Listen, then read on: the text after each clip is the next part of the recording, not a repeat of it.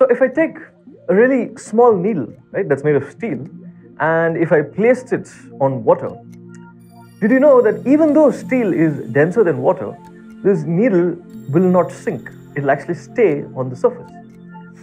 Now, why is that?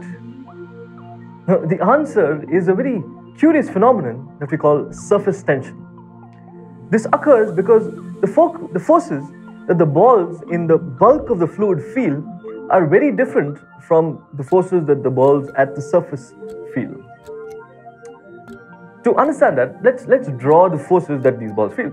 So let's take a ball in the bulk of the fluid. Now, the attractive forces are from all directions, right? Okay? But if you take a ball that's on the surface and you draw the forces, you find that the forces that are on top, that are coming from on top, are not there because there is nothing on top, right? So only the forces that are from the sides and below are present. So this basically leads uh, the surface to behave like a stretched membrane, you know, or a stretched sheet of rubber. And this is why when I place a nail of small overall mass, right, or small overall weight, if I place it on top of the surface, the tension, right, that this surface has is strong enough to keep it up and prevent it from going down. Now, this actually can even be a blade, it need not be a needle, it can be anything of small mass, right? A, blade or any small object, when placed like that, the surface tension can keep it up. But when I push it down like this, right? When I push the small object and break the surface tension, then all everything else that I said will hold true. It'll start sinking and it'll go down. Now, what about the magnitude of this surface tension or this force because of surface tension? We find that the magnitude of this tension is proportional to the length of the surface in contact. So, to understand that, let's first consider a liquid surface like this. And let's say I take a line of fluid like this. Okay. Now, what would be the forces acting on this line of fluid?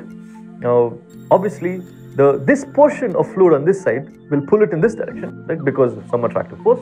And similarly, another portion of liquid on this side will pull it in this direction, right? And both the forces will be of the same magnitude because that line of fluid is at rest. So what we find is that if we take, if we consider one one of these forces, let's say this force F, and divide it by this length L, right? It's constant for a particular fluid. We let's say that constant we call it S.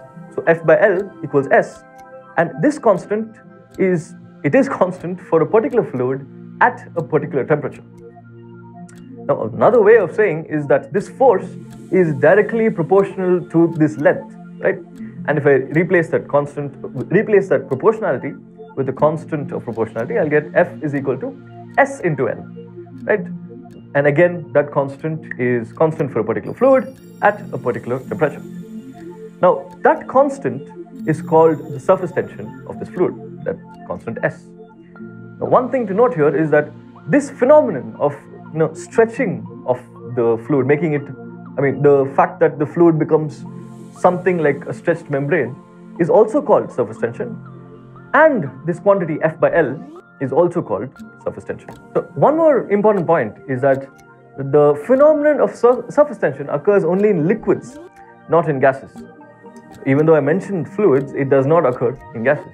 Mainly because you can have a free surface for a liquid, but it's almost impossible to have a free surface for gas, right?